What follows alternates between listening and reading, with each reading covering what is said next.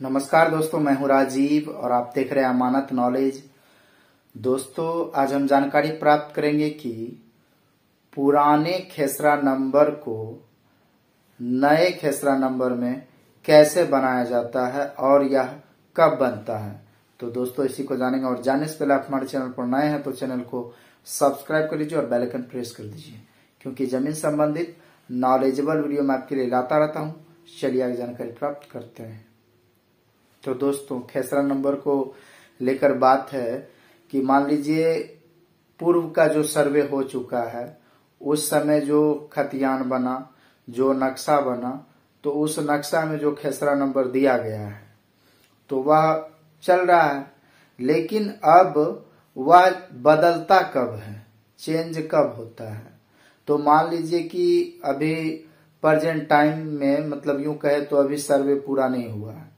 और इससे पहले जो सर्वे हो चुका है तो उसका जो मानचित्र है, जो खेसरा नंबर है, उस खेसरा में हो सकता है, किसी खेसरा में एक ही व्यक्ति ज़मीन खरीदे हो।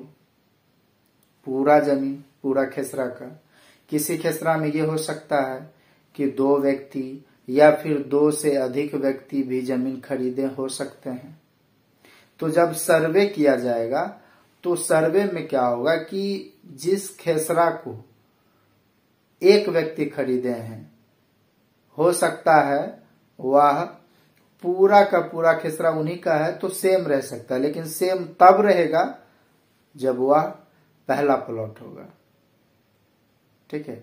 लेकिन यदि वो भी बीच में आते हैं तो उनका भी खेसरा नंबर चेंज हो सकता है। अब बात करते हैं, चेंज क्यों होता है?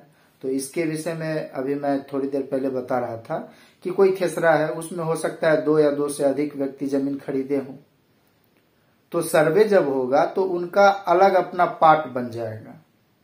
ठीक है तो उनका, सबका अलग अलग खेसरा नंबर दिया जाएगा। अलग अलग खेसरा हो जाता है। तो सर्वे के समय खेसरा नंबर बदलता है। पुराना खेसरा नंबर जो रहता है वह बदलकर नए खेसरा में तब्दील हो जाता है। और यह सर्वे के समय होता है। तो दोस्तों, उम्मीद करता हूँ समझ गया होंगे। अगर समझ में आ गया तो वीडियो को लाइक और शेयर करना ना भूलें। मिलते हैं नेक्स्ट वीडियो के साथ। तब तक के लिए अलविदा। थैंक